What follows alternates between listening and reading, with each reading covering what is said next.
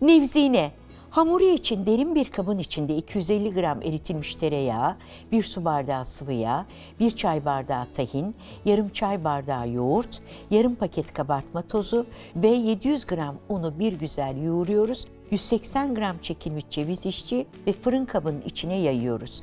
Üzerine cevizleri dizdikten sonra 180 derece ısınmış fırında pişmeye atıyoruz. Şerbeti için 3 su bardağı su, 3 su bardağı toz şeker ve 1 su bardağı pekmezi limonla birlikte kaynatıyoruz.